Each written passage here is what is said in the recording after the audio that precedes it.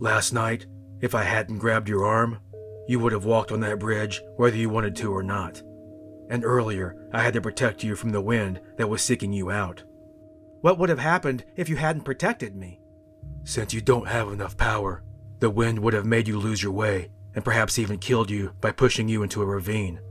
But the fog was the real thing last night. Two things could have happened to you in the fog. You could have walked across the bridge to the other side, or you could have fallen to your death. Either would have depended on power. One thing, however, would have been for sure. If I had not protected you, you would have had to walk on that bridge regardless of anything.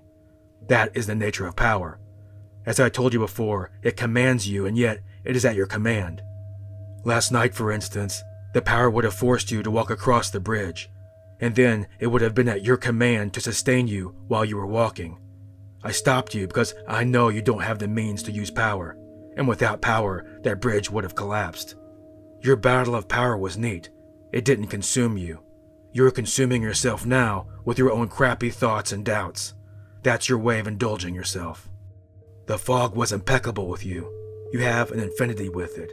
It gave you a stupendous bridge, and that bridge will be there in the fog from now on.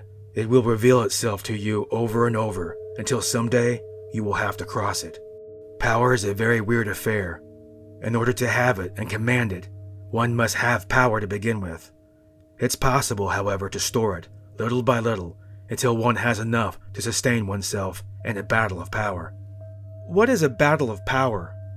What happened to you last night was the beginning of a battle of power. The scenes that you beheld were the seat of power. Someday they will make sense to you. Those scenes are most meaningful. Can you tell me their meaning yourself, Don Juan? No. Those scenes are your own personal conquest, which you cannot share with anyone. But what happened last night was only the beginning, a skirmish. The real battle will take place when you cross that bridge. What's on the other side? Only you will know that. And only you will know what's at the end of that trail through the forest. But all that is something that may or may not happen to you. In order to journey through those unknown trails and bridges, one must have enough power of one's own. What happens if one doesn't have enough power? Death is always waiting, and when a warrior's power wanes, death simply taps him.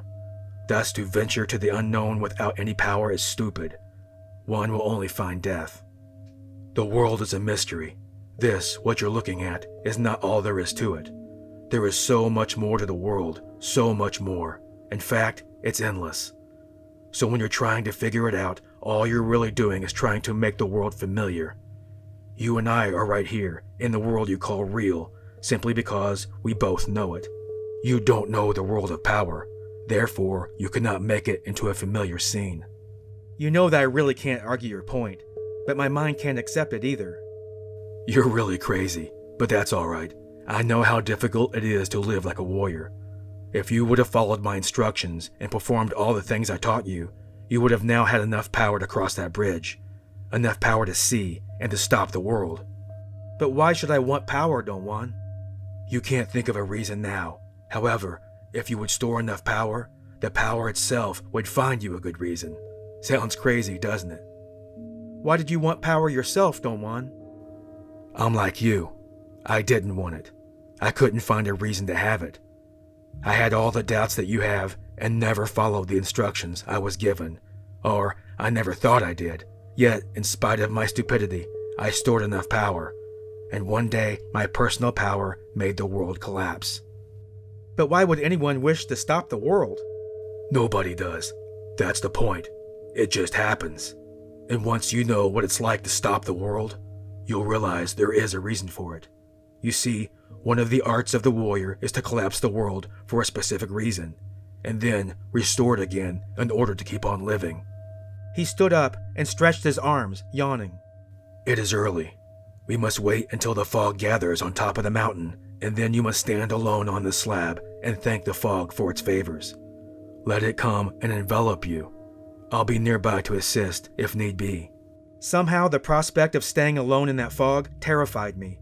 I felt idiotic for reacting in such an irrational manner. You cannot leave these desolate mountains without saying your thanks, he said in a firm tone. A warrior never turns his back to power without atoning for the favors received.